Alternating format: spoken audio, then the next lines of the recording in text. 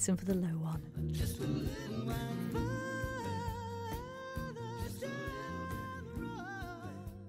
Did you hear him? You could hear Bobby Bob, Christine's husband, singing on that, going, Move it just a little bit. Oh, it's lovely to hear that again. Such a gorgeous song. And if people want to hear it in a live form. Situation, well, I know just the time to do that. um, yeah, it's the Manannan Festival uh, this coming week. It starts on Monday, and there's something uh, something fabulous on every night that week. It starts with Rachel Hair and Ruth Keggin, and it ends with myself and my friends. And so just having a bit of a party. Bookended, so um, uh, bookended by Manx artists, and the, I mean it's a really rich, fabulous um, list of uh, wonderful things on. There's uh, I'm, I'm looking at the list here now, and uh, you know, there's um, like a, there's a play, there's musicians, there's a quartet, there's oh, the most fab, fabulous um, Janeba Canna Mason she's just wonderful. She where, where, did she? She was the finalist in the BBC Young Musician of 2018. Wonderful. I mean, you know, brilliant really mix, isn't it? Really fabulous. very mixed. Yeah. And to start with Ruth and Rachel as well is yeah, wonderful gorgeous. because they've just made a new album yeah. as well, which is fantastic. It's actually sold out that night, I think, um, which is great. But do check Erin Arts Centre for tickets. You can see Christine on Saturday evening. What can we expect from the gig then? Um, a lot of fun, I think. A lot of fun and um, yeah, good good vibes. We're aiming for good vibes. Yes, bring on the good vibes. and it, it kind of fits because this week as well has been Make Music Day, ah. the International Make Music Day. Right. Um, and of course it's Glastonbury this weekend oh, as well. Right. So it's yeah, kind yeah, of yeah. all about it's music all at the moment, which is fun. Have you ever played Glastonbury? Yes, I have several times. and what's it like? Uh, muddy. I played it maybe three or four times. Uh, once with Richard Thompson way back in the eighties, and it was and it's the first time I was there, and he was on the main stage.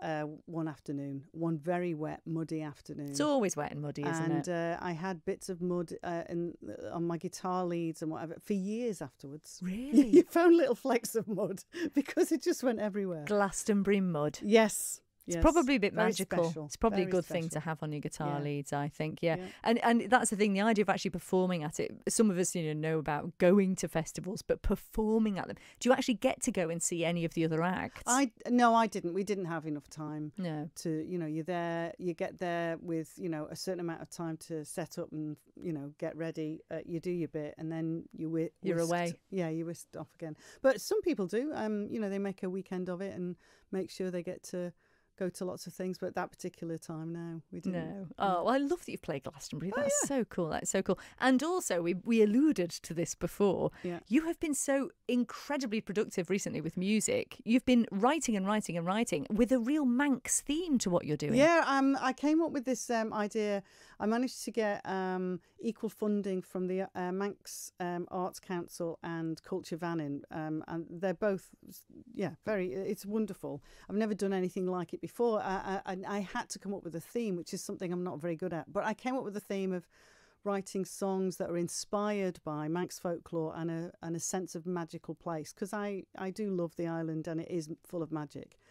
Um, and so I started reading lots of the the folklore, the the stories and what have you, and and a few of them um, sparked my imagination. Now, I'm not telling the stories necessarily, I am inspired by them.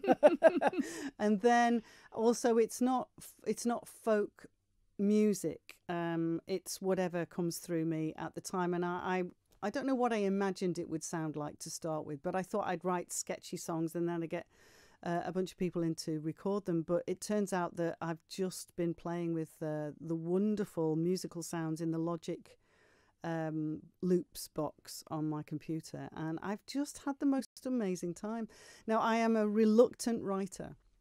You know, writing is not my forte. It's not the thing that I, uh, you know, I love to sing. Singing is a, a, a, relatively easy thing for me, and I love it.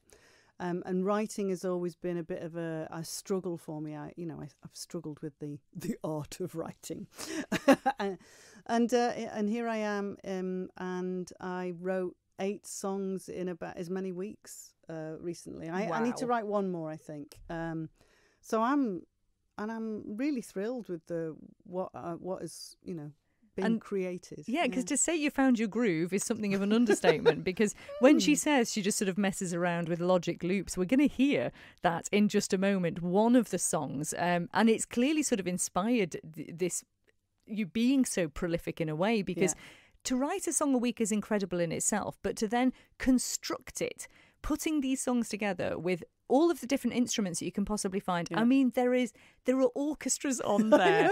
there are talk about everything in the kitchen sink. Yeah. No, but I've really loved it, and I I think. I mean, I obviously understand the structure of a song and, and, and telling a story, and uh, and then you know you sew these bits of sounds together, and hopefully they sound like a cohesive uh, creation. Um, I mean, it's work in progress. They're not finished yet. It's not mixed. It needs, you know, all sorts of little tweaks and what have you. So we're um, getting a um, proper sneak preview. You are getting a sneak pre. Yeah, this is definitely work in progress. So do we know when this album may be out? Um, I'm hoping to have it finished before the end of the year. Um, but there's also the possibility, and I, I've yet to talk to some people about this, of perhaps turning it into a booklet and um, and have, having some really uh, lovely artwork with it as well. But I don't know how practical that might be, mm-hmm. but it would be a lovely thing to do. It's, it, it, makes it lends sense. itself to that, yeah. It really does. Well, we're going to hear one now. We're going to hear Sound of Infinity. Tell us a little bit about this one. Uh, right, okay. Well, I was kind of um, in a bit of a, um, a corner about a particular song, and um, I, I, but I, I put together this musical landscape that I really loved, and I thought, no, that's never going to work for any of these songs. And so I put aside the idea I originally had, and I started looking through my notes, of which I have loads. and uh, and I found this one little um, phrase, and it said, uh, "The old when the old people of Dalby Mountain." Did, did we even know we had a mountain in Dalby? I didn't. Uh, when the old people of Dalby Mountain, they used to go up to the mountain and put their ear to the earth and listen to the sounds of infinity. And I just love that phrase. Um, and then they said um, they had a belief that the space, in the space, uh, the space is always filled with beings that we can't see. And um, I just, yeah, I just love that idea. But the sound of it, so I, have written a song called The Sound of Infinity. Um, and you're about to hear it. We are. We're going to play in its it incomplete state, but you know, it's it's all right. It's just not. I'm just hesitate. It's not completely it's finished. Fabulous, Christy. Yeah. Well, listen. Remind us again before we hear it where people can actually see you performing live. Um, this Saturday, July the second, seven thirty at uh, Erin Arts Centre as part of the Manannán Festival. In fact, we are closing the festival, so I'm incredibly honoured to be given such um, um, an esteemed position, and uh, I'm really looking forward to it. And the festival starts on Monday. Get yourselves yeah. down there.